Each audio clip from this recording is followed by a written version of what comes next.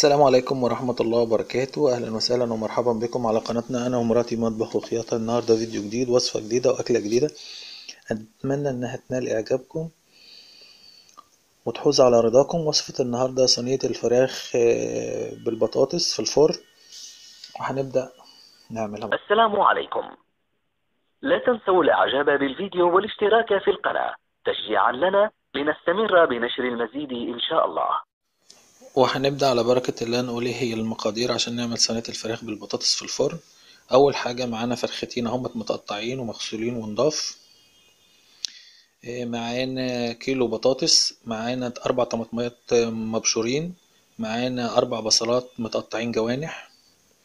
التوابل ورقتين لورا ومعانا تلات فصوص توم ومعانا كركم فلفل أسود إيه، جوزة الطيب وكمون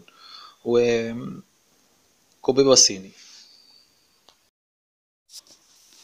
أول حاجة هنهرس التوم كده على الكوبيبة الصيني. زي ما أنتوا شايفين كده. وهناخده ننزل بيه على الفراخ. تمام كده. هننزل بعد كده بالطماطم. وبعد كده هن- هنخلطهم شوية في بعض كده زي ما أنتوا شايفين كده.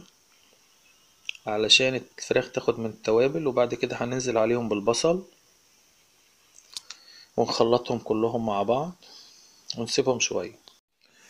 طبعا بعد ما سيبناها شوية شربت من الخلطة هنيجي بعد كده نولع البوتاجاز ونحطها على البوتاجاز زي ما هي كده لغاية ما إيه تاخد لها غلوة.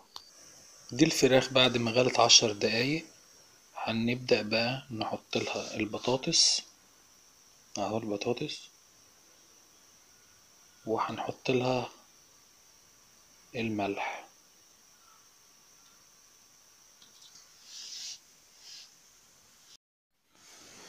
الفراخ اهي دلوقتي كده يعتبر استوت على البوتاجاز. هناخدها بقى عشان نديها لون في الفرن ونديها طعم الفرن. اهي البطاطس معانا اهي ال- الفراخ بالبطاطس. هنبدأ ننزل بيها في الصينية كده. كلها كده زي ما أنتوا شايفين. علشان خاطر ندخلها الفرن. تمام زي ما أنتوا شايفين كده هندخلها الفرن ونوريها لحضراتكم. السلام عليكم. لا تنسوا الإعجاب بالفيديو والاشتراك في القناة. تشجيعا لنا لنستمر بنشر المزيد إن شاء الله. دي صينية الفراخ بعد ما خرجت من الفرن أهي. حاجة يعني تحفة وريحة ما أقولكمش. أتمنى إنها تنال إعجابكم وتحوز على رضاكم. أي سؤال أو أي استفسار في صندوق الوصف أو في الرسائل ما تنسوش تعملوا like و share وإعجاب على القناة وتفعلوا الجرس عشان يجيلكم مننا كل جديد. تحياتنا ليكم جميعا والسلام عليكم ورحمة الله وبركاته.